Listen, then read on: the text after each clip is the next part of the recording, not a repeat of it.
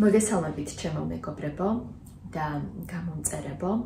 ასევე გესალმებით ახალ გამომწერებს უკვე ძალიან ბევრი ხართ და მინდა რომ გაგაცნოთ ჩემი თავი. მე ვარ ამალია ვანციენცი და გიზიარებთ ყველა იმ ტექნიკას და იმ ცოდნას, რასაც ვიყენებ მე პირადად ჩემ ცხოვრებაში და რომელიც ნამდვილად მუშაობს.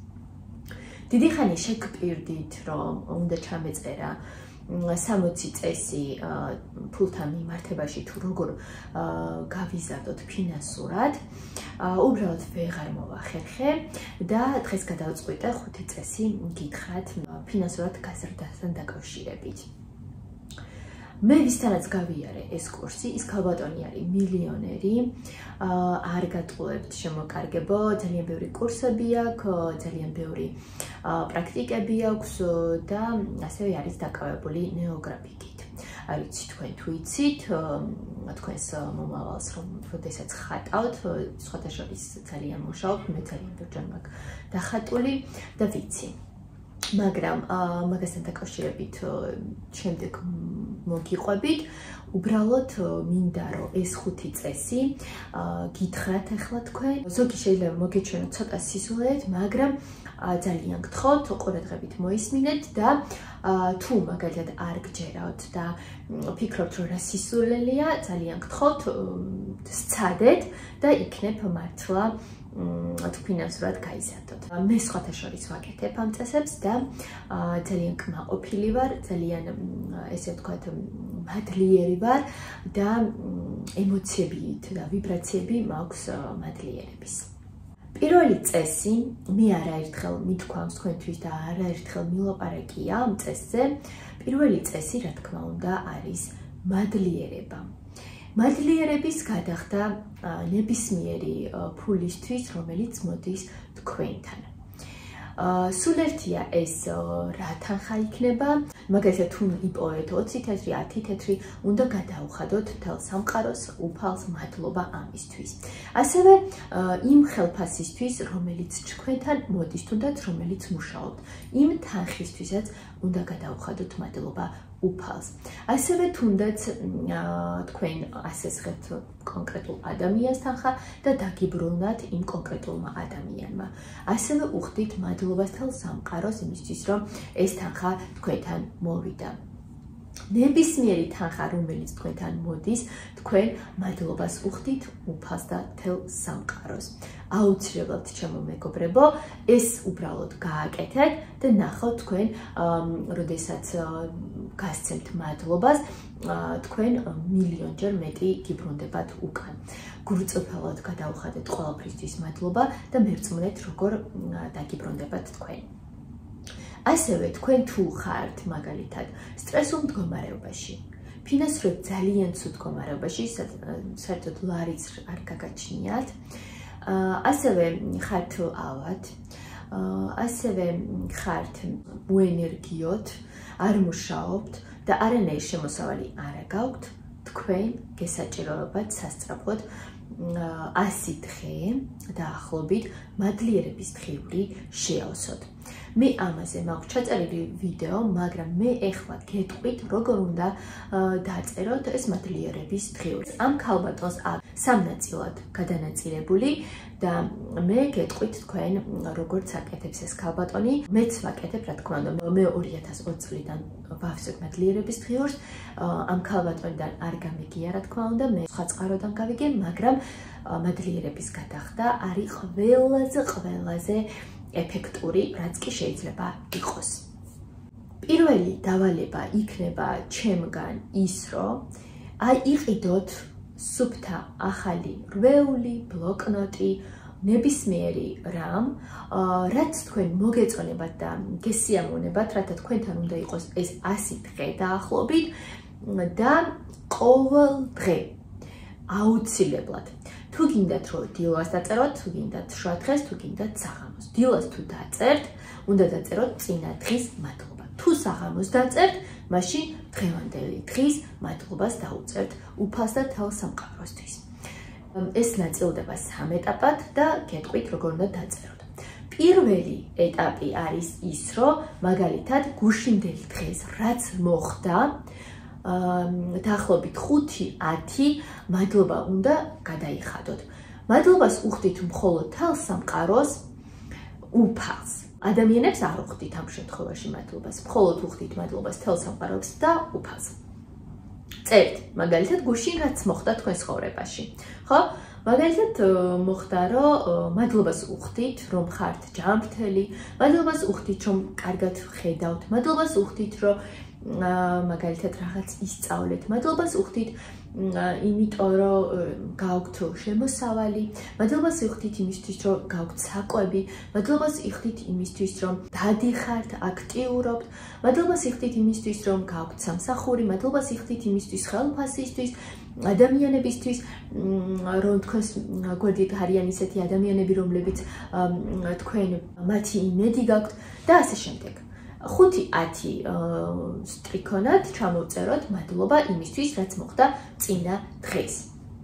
მადლობას უხდით მეუღლესთვის, ბავშვისთვის, აი ნებისმიერი რამისთვის, ხო? თქვენ რაც კი მაგალითად წინა დღეს მოხდა რამე კარგი, ესეთი რაღაც მოხდა, რომ თქვენ მეუღლემ დაგეხმარათ რაღაცა საქმეში, ან მაღაზიაში წავიდა, ან რაღაც საჭმელი მოამზადა, აი ყველაფრისთვის 10 ან 5 რაღაც გადავხადეთ უფალს მადლობა ამისათვის. ასევე 5 ან 10 სტრიქონი ჩამოწერეთ იმისთვის, რაც ცუდი მოხდა თქვენს გუშინდელ დღეში, ხო? მაგალითად, იჩხუბეთ, მადლობას უხდი უფალს და თელსამყაროს იმისთვის, რომ ჩვენ ვიკამათეთ. მადლობას უხდი უფალს და თელსამყაროს იმისთვის, რომ მაგალითად წავიქეცი, მადლობას უხდი იმისთვის, რომ თავი მტკივა.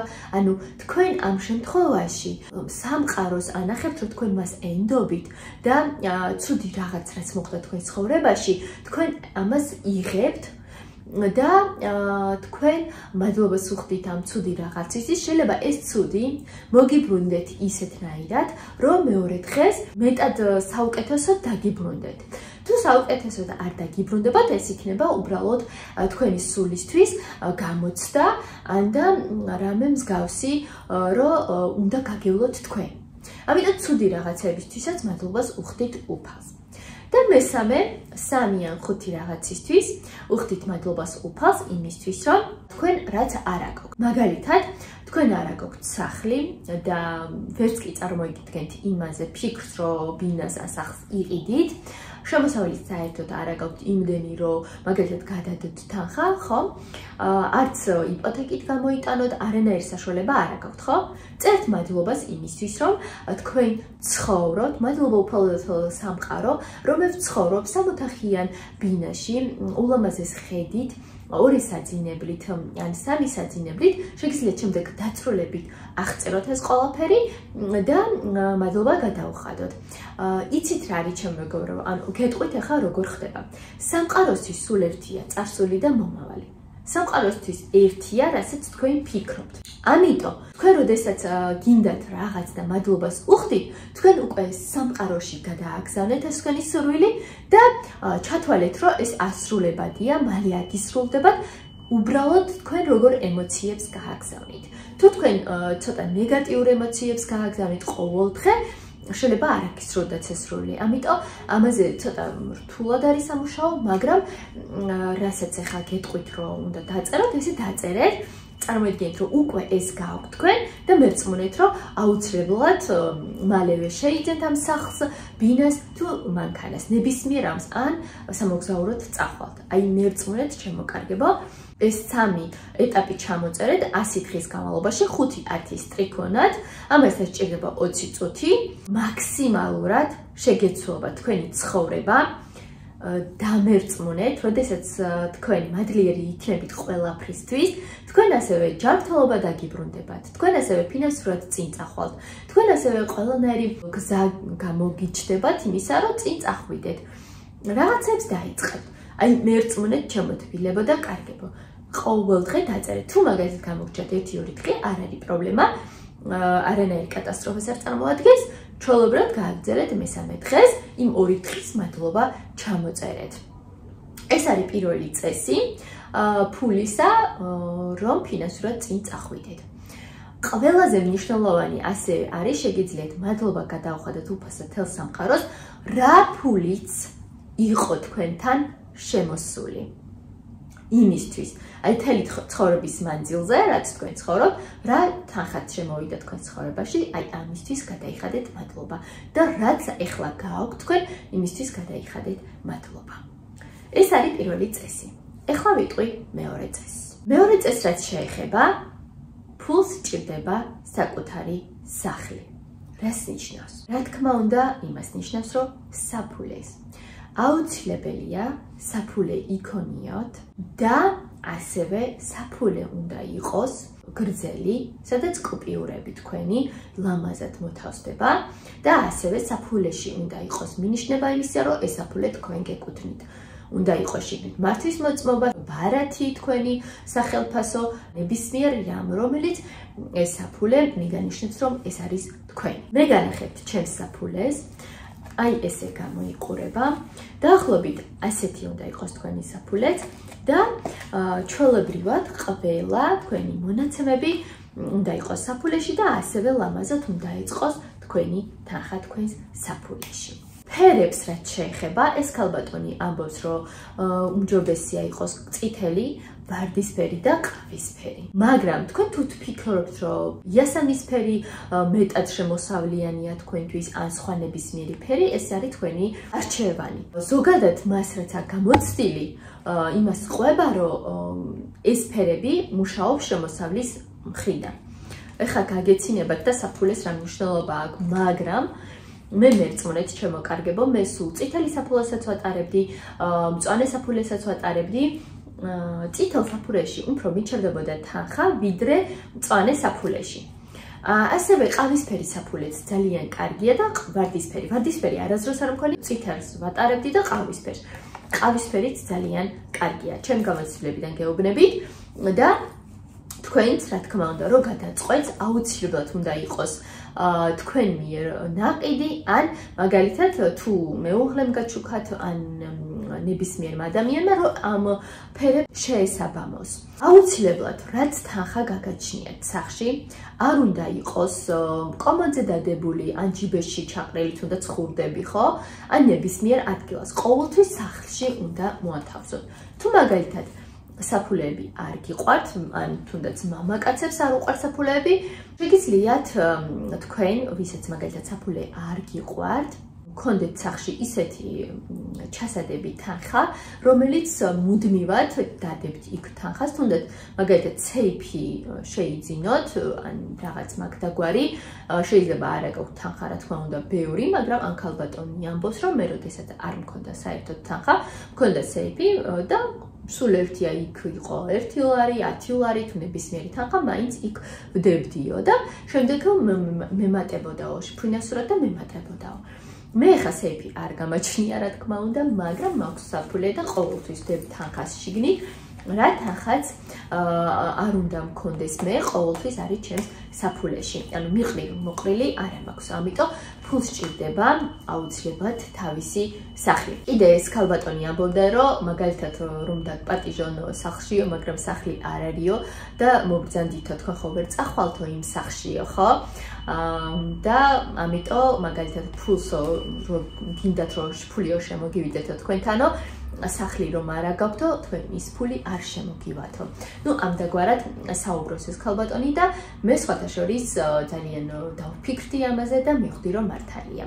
მე ყოველთვის ისედაც ვინახავდი სულ საფულეში და ეს წესი ესე თქვა ძალიან ახალი არ იყო, მაგრამ მე მინდა თქვენ გაგიზიაროთ, იქნებ თქვენ გავთ ხოლმე ხან ჯიბეში გავთ ხან სადმე მიყრილი მოყრილი გავთ ამიტომ ესე რო არ გქონდეთ ყოველთვის შეინახეთ საფულეში ასევე ნიშნელოვანია მაგალითად თქვენს დაქალს აქვს საფულე და რომელსაც უკვე აღარ ხმარობს და უნდა რომ თქვენც გაჩუქოთ.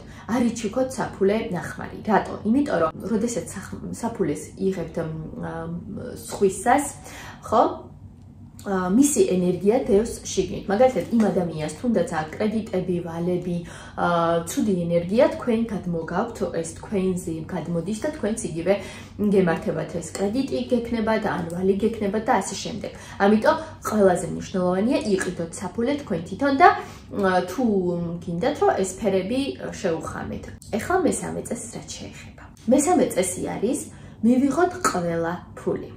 ჩვენ მაგალითად ადამიანები ვთხოვთ უფასდა თელ სამყაროს, რომ კონდეს შემოსავალი, კონდეს რაღაც ფული, რაღაც ვიყიდოთ ან საჭმელი ან ნებისმიერი რამ, ხო? მაგრამ როდესაც გავდივართ გარეთ და თელი სამყარო და უფალი გვიგზავნის, აი თუნდაც ხუთი თეთრი არის, ან ერთი თეთრი არის, ხო?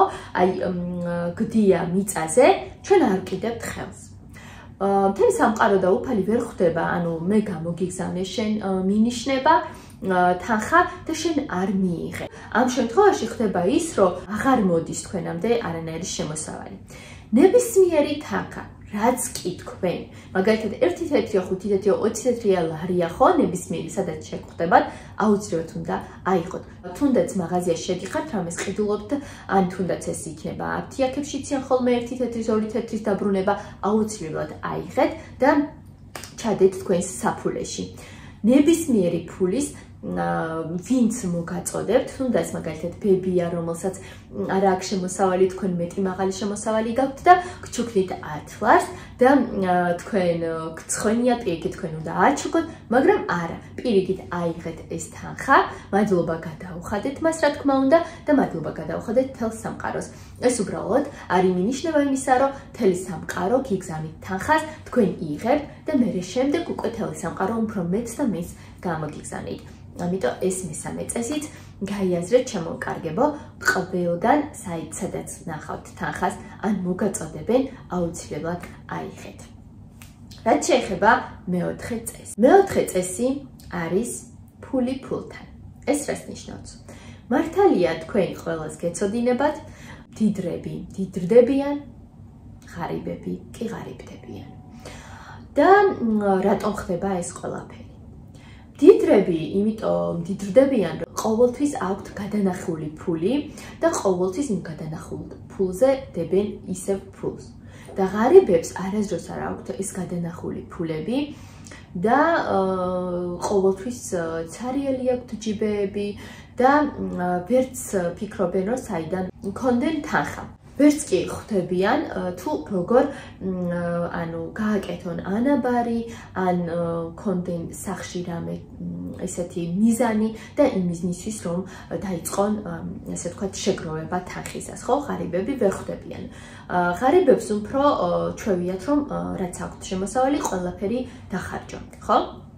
ამიტომ ღარიბებთან არ მიდის ის თანხა რაც მათ უნდათ და მდიდრები, რა თქმა უნდა, იციან, რომ ფული ფულთან მიდის და ამიტომ ყოველთვის ყოველთვიურად იმ ფულს ამატებენ ფულს და ამატებენ ფულს, რა თქმა უნდა, მიზანს ასახავენ. რას ნიშნავს ეს? ყოველთვის უნდა გქონდეთ რაღაც მიზანი და იმ მიზნისკენ უნდა ისწრაფოდეთ. ყოველთვიურად, მაგალითად, უნდა გადადოთ რაღაც თანხა, მაგალითად ეს იქნება 10 ლარი, 20 ლარი იმ მიზნისთვის, რა მიზანის თქვენ გაგაჩნიათ. და შემდეგ, როდესაც ამ ყოველთვიურად გადაინახავთ ამ თანხაზე, თქვენ გეკრებათ ფინანსურად წინწასვლა და მეტად შემოსავალი გაგეზრდებათ. თუ ამ ყველაფერს არ გააკეთებთ, ყოველთვის ფინანსურად უკან წახვალთ და წახვალთ. ამიტომ ეს ძალიან მნიშვნელოვანია ყოველთვიურად გადავინახოთ თანხა. ზოგი ადამიანი, რა თქმა უნდა, ინახავს თანხას შავი თხისთვის, რაც ეს კატასტროფულად არ შეიძლება და მეც ვიცი, მე ამ ქალიდან არ გამიგია, მაგრამ მანამდეც ვიცოდი, კატასტროფულად არ შეიძლება შავი თხისთვის როგორც კი გადაინახავთ თანხას ის შავი თხე აუცილებლად მალე მოვა. ხომ თქვენ არ გინდათ ეს რომ მოხდეს? ამიტომ ისეთი მიზანი დაარქვით თქვენს თანხას გადანახულს რომელიც გაგაბედნიერებთ. მაგალითად შესანიშნავი სიბერისთვის გახსენით ანაბარი, აი საქართველოს ბანკში, ცდიბისი ბანკში არის ანაბრების გახსნა უფასო ჩვეულებრივ, გახსენით ანაბარი და ყოველთვიურად გადაიტანეთ თანხა დაიწყეთ თანხა და დაარქვით შესანიშნავი სიბერისთვის. ან მაგალითად მოგზაურობა დუბაიში. ან მანქანის ყიდვა. ნებისმიერი მიზანისთვის ყოველთვის ყოველთვიურად რო გადაინახოთ თანხა. ეს მეტად ენერგიას მოგცემთ, რადგან ენერგია არის ფული და როდესაც ენერგიულად თქვენ იცით, რომ თქვენ გაქვთ ფული, გვერდზე გადანახული, იმ ენერგიას ემატება ისევ ბევრი ენერგია. ამიტომ ძალიან გთხოვთ, გახსენით ყულაბა და მიზანი დაარქვით, ოღონდ კარგი მიზანი დაარქვით და ყოველთვიურად გადადეთ თანხა. ეხლა მეხუთე წეს რასაც გეტყვით, ამ ქალბატონს აქ სხვანაირად რაღაცნაირად შემოსავლის გაორმაგებაზე საუბრობს, მე არასდროს გამიკეთებია. დამავიწყლა სათაშორის და ეხლა უნდა მოუსინჯო მეც. როგორც კი მოუსინჯავ, თქვენს გაგიზიარებთ, მაგრამ თქვენ ეხლა მოგიყვებით და თქვენს გააკეთეთ და იქნებ თქვენს გაგიორმაგდეთ შემოსავალი და მეტად წინ და წინ წახვიდეთ. ეხლა მეხუთე წესზე მოგიყვები. მეხუთე წესი არის პრინციპი დაჩქარებისას. ანუ როგორ დავაჩქაროთ, რომ ჩვენი შემოსავალი გაორმაგდეს. ეს ქალბატონი ამბობს მაგალითად თვიურად გაქვთ ერთ მიზანზე აა გადანახული თანხა მაგალითად თვიურად გინდათ რომ 50 ლარი დარიცხოთ ერთ მიზანზე რაც მიზანი გაქვთ მაგალითად შესანიშნავი სიბერისთვის ან თუნდაც 20 ლარი ან თუნდაც 10 ლარი ან 5 ლარი და აა ყოველ დღე ამ 5 ლარს როგორ ანაწილებთ ან ამ 50 ლარს ხო მაგალითად თქვა 30 ლარი ხო მაგალითად მიზანი გაქვთ მოგზაურობა დუბაიში ნებისმიერ ადგილას და გინდათ რომ თვიურად დარიცხოთ იქ თანხა 30 ლარი, ასევე გინდათ რომ შემოსავალი მოგემატოთ, გაგიორმაგდეთ და რასაკეთებთ. ყოველ დღე თელ სამყაროს ანახებთ, რომ თქვენ ეს მიზანი ძალიან გინდათ რომ აგისრულდეთ. რიცხავთ ჯერ 50-ეთ, მე აორმაგებთ, მე რიცხავთ ლარს, მე ისევ აორმაგებთ, მე რიცხავთ 2 ლარს. მე ისევ აორმაგებთ 4 ლარი, 8 ლარი, 16 ლარი და 32 ლარი. როდესაც უკვე 32 ლარზე მიხვალთ, გაჩერდებით, იმიტომ რომ თქვენ გქონდათ ლიმიტი, რომ 32 ლარამდე გაგეზარდათ, ანუ 32 ლარი ჩაგერიცხათ, ხო? აა გაჩერდებით და თელს სამყაროს თქვენ ანახებთ ამით, რომ თქვენ გინდათ შემოსავლის გასა ყოველ დღიურად ზდიდით თქვენ თქვენს მიზნისთვის ყოველ დღიურად რიცხავდით იქ თანხას. შეგიძლიათ ეს გააკეთოთ კონვერტების სახით, მე მაგ კონვერტებზე ვიდეო ჩაწერილი, თუ გინდათ აქ მიუთითებ, უყურეთ, კონვერტები არის უბრალოდ ყოველთვიურად. მაგრამ ეს არის ყოველ დღიურად იქამდე სანამ ის ხარ შესრულდება რაც თვიურად გინდათ რომ ჩაგერიცხათ ან შეგინახათ თქვენს მაგალითად კონვერტში ხო ეს დაგიხმარებათ იმისთვის რომ თელ სამყაროს დაანახოთ რომ ეს მიზანი გინდათ რომ თქვენ აგისრულდეთ და ამისთვის თქვენ აკეთებთ ყველაფერს და ნაბიჯ-ნაბიჯ დგამთ ძალიან კარგია ჩემო მეგობრებო, ეს მეხუთე წესი, ცოტა სასაცილო მოგეჩვენებათ, მაგრამ მუშაობს. როგორც ეს ქალბატონი ამბობს, საერთოდ ჯერეო არ მეზრდებოდა შემოსავალიო და როდესაც ეს ტექნიკა გავაკეთეო, მე მეხუთე წესზე გეუბნებით, გამიორმაგდა შემოსავალიო და მეც უნდა ცადო, თქვენც ცადეთ შემოკარგებო და ნახეთ იქნებ მართლა მუშაობს. ეს ხუთი წესი იყო ჩემო მეგობრებო, პირველი, რაც მინდა თქვენ გაგიზიაროთ, ძალიან გთხოვთ, გაითვალისწინეთ, ყურადღებით მოусმინეთ, გააკეთეთ ეს წესები და ნახეთ, ადევნეთ თვალი, როგორ იცვლება თქვენს მიმართ ყველაფერი.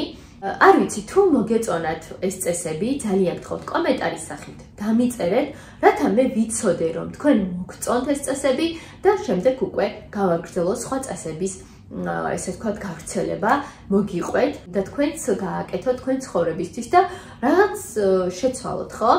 შეიძლება არც გაგიგიათ ამ წესებზე, შეიძლება გაგებულიც გაქვთ, მაგრამ მე ვფიქრობ, რომ რა ვიცი, ეს ქალბატონი მის გამოცდილებიდან ყובה ყველაფერს, ასევე ბევრი წიგნები აქვს წაკითხული, მით უმეტეს მილიონერია და რა ვიცი, ასე ვთქვათ, მივბაძოთ მილიონერებს. თუ მოგვეწონათ ეს ვლოგი, ძალიან გთხოვთ იაქტიურეთ და მილაიქეთ და მიკომენტარეთ. გამოიწერეთ ჩემი არხი, ჩემო კარგებო და დარჩით ბოლომდე ჩემს არხზე. ასევე დამიწერეთ კომენტარში, თუ გინდათ რომ ასახის ვლოგები გავაგრძელო. და გემშვიდობებით ახლა თქვენი საყვარელი ამალიკო. ნახვამდის.